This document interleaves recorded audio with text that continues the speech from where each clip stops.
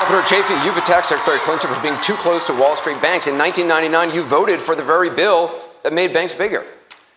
Uh, the Glass-Steagall was my very first vote. I just arrived. My dad had died in office. My Are you, saying, are you saying you didn't know what you were voting for? I think you're being a little rough. I just arrived at the United States Senate because it was a conference report. But let me just say about income inequality. Today, I'm formally entering the race for the Democratic nomination for president.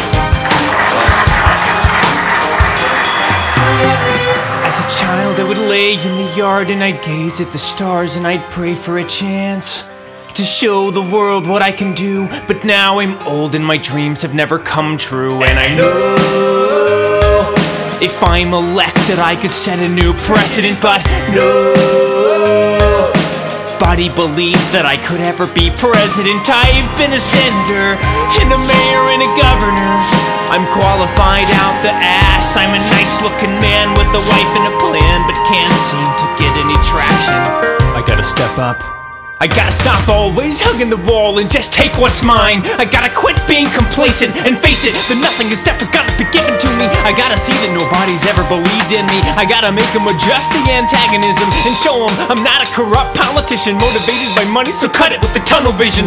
Lincoln Chafee's here to stay with a fresh toupee and a fierce campaign. Hillary's beer and I'm a glass of champagne. Trump's a banana, but I'm a plantain. I'm gonna be the first American head of state to bring the kilogram to the USA. You fools say it's too late for me to take office in 2016.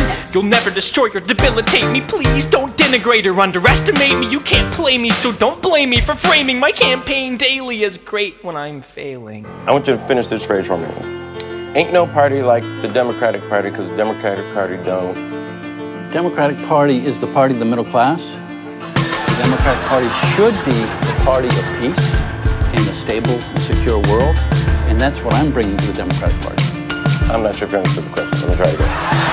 I'm on the far right, hugging the wall of the first debate states, trying to be calm. But I know I'm beaming down to my kids at home, and I sweat thinking they're thinking dad's a joke. I'm 62 in a too tall suit, and I'm sick of the cold brew stains on my faux leather. I'm getting pics and my Facebook ads of my own face plastered across the laptop screen. I enjoy challenges, and certainly we have many facing America. Washington Post titled their article, How to Disappear Completely by Lincoln Chafee. The Boston Globe called it Lincoln Chafee's No Good, Very Bad Night. Uh, here's, here's what worries me. Cause Steph is asking me, when the fuck am I gonna be back home? When the fuck am I gonna pet my dog again?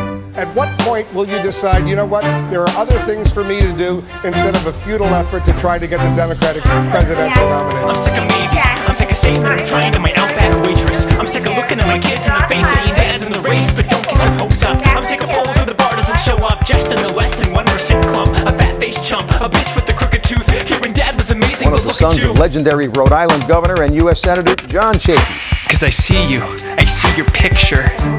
Above the stairs since I was three, your parted hair and hulking figure stared at me. I thought I'd be at least a piece of you to bear your name with honor. Now my daughter says her friends at school all say I'm fucked.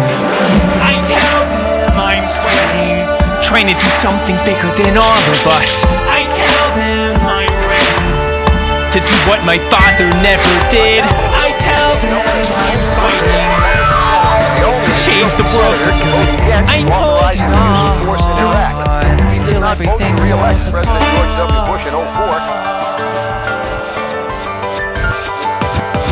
City council in 85 and mayor in 92 Too young to really understand what the hell I was doing. You died in 88 They gave me your senate place straight from giving your eulogy to the inauguration. Eight years I slaved away Waiting patiently for an opportunity to hold a noble vocation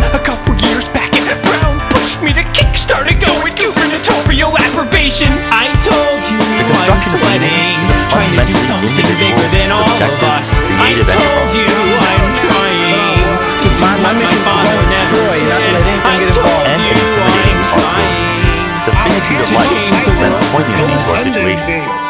Each of us will have a last word we say. I'm so mean I make medicine sick. Challenges are real. The opportunities are incredible.